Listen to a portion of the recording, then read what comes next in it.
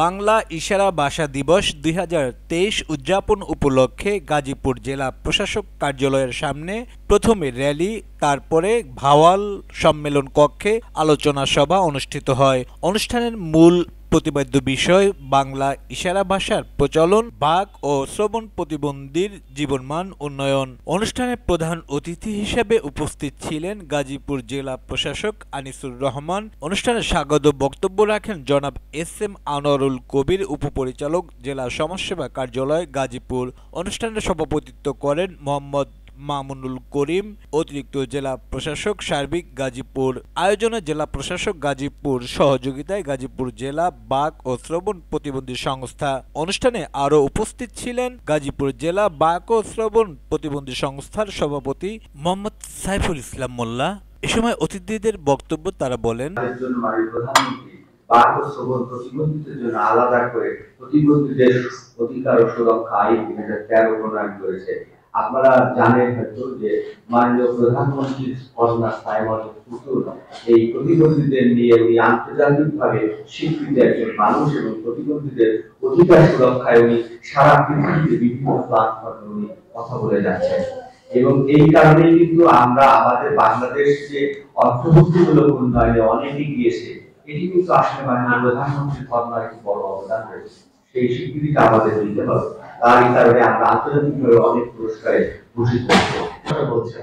আমাদের দেশে বাংলা ইশারা ভাষার প্রচলনটা যদি আমরা করতে পারি, তাদের প্রশিক্ষণ দিতে পারি, তাহলে হয়তো আমাদের এই তাদের কর্মসংস্থান সহ তাদের তাদের তাদের কিন্তু একটা বড় ভূমিকা রাখতে পারব।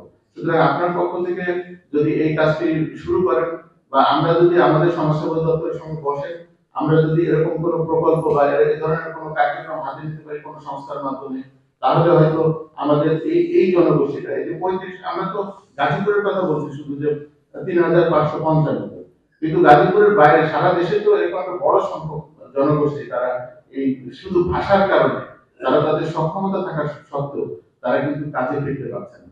তো সুতরাং আপনারা যারা আছেন, আপনাদের সকলের দৃষ্টি আকর্ষণ করছি আজকে বাংলা ইশারা দিবস। আপনারা নিশ্চয়ই অবগত রয়েছেন। দুই সালে আমাদের দার্শনিক সফল প্রধানমন্ত্রী, রাষ্ট্রনায়ক জননেত্রী শেখ হাসিনার নেতৃত্বে দুই হাজার তেরো সাল থেকে এই ইশারা দিবস উদযাপন হচ্ছে এর পূর্বে উনি দুই হাজার নয় সালে বিটিভি সহ বিভিন্ন চ্যানেলকে ইশারা দিবস পালন করার জন্য আনুষ্ঠানিকভাবে স্বীকৃতি দেওয়ার জন্য উদ্যমী হয়েছিল। এর পরবর্তীতে আজকে জাতীয়ভাবে এই ইশারা দিবস পালন হচ্ছে জননেত্রী শেখ হাসিনার কারণে। আমি ব্যক্তিগতভাবে যতটুকু জানি এবং এই সংস্থার সাথে সম্পৃক্ত থেকে যতটুকু আমি জানতে পেরেছি, সারা বাংলাদেশে তিরিশ লক্ষ জনগোষ্ঠী ইশারা ভাষা ব্যবহার করে। তো বিশাল একটা জনগোষ্ঠী যদি ইশারা ভাষা ব্যবহার করে মানে অপ্রিয় সত্যি কথা যে সারা বাংলাদেশে সমাজসেবা অধিদপ্তরের আটটি স্কুল রয়েছে, যেখানে দক্ষ শিক্ষক নেই। আমি মনে করি প্রতিটি জেলায় যদি একটা বদির স্কুল থাকে তাহলে তারা কিন্তু অনেক দূর এগিয়ে যেতে পারবে এগিয়ে যেতে পারবে। বিশেষ করে বদিরা আগে অনেকে বোঝা মনে করতো কিন্তু তারা সম্পদ এরা আমাদের সম্পদ। আপনাদের জ্ঞাতার্থে জানাই আমাদের গাজীপুর জেলা বা সমাজ প্রতিবন্ধী সংস্থার একজন জাতীয় বদির ক্রিকেট টিমের একজন অলরাউন্ডার। আমাদের এখানে উপস্থিত আছেন। আমি সোহেলদেবকে দাঁড়িয়ে সোহেলদেব জাতীয় বদির ক্রিকেট দলের একজন অলরাউন্ডার সে আগামী এপ্রিল মাসের আঠাশ তারিখে ছয়ই মে পর্যন্ত ভারতে অবস্থান করবে খেলাধুলার জন্য। সে জননেত্রী শেখ হাসিনার হাত থেকে একাধিক একাধিকবার পুরস্কার পেয়েছে। তো এদের যদি আমরা কর্মসংস্থান ব্যবস্থা করি, তাহলে তারা রূপ নেবে এবং আমাদের ইতিমধ্যে আমাদের বিডি মহোদয় বলেছেন, এরা অত্যন্ত বিনয়ী, ভদ্র এবং তারা অত্যন্ত সুশৃঙ্খল। এরা সমাজে অবহেলিত নয়, কিন্তু আমরা যারা তাদেরকে বঞ্চিত রাখার চেষ্টা করি, এটা আমাদের জন্য আমি মনে করি একটা অন্যায় কাজ। আমাদের আজকের অনুষ্ঠানের প্রধান অতিথি মহোদয় যদি তাদের প্রতি সুদৃষ্টি দেয়, এবং উনি একজন সজ্জন ব্যক্তি, উনি একটা সাধারণের মানুষ, উনি সকল শ্রেণির মানুষকে যার যার পদমর্যাদা উনি মূল্যায়ন করে আমি সেই হিসেবে এই সংগঠনের একজন সভাপতি হিসেবে একটি উদাত্ত আহ্বান জানাব। ইতিমধ্যে আমরা একত্রিশে, গত মাসের একত্রিশ তারিখে আমাদের মন্ত্রী মহোদয়কে আমরা অবগত করেছি।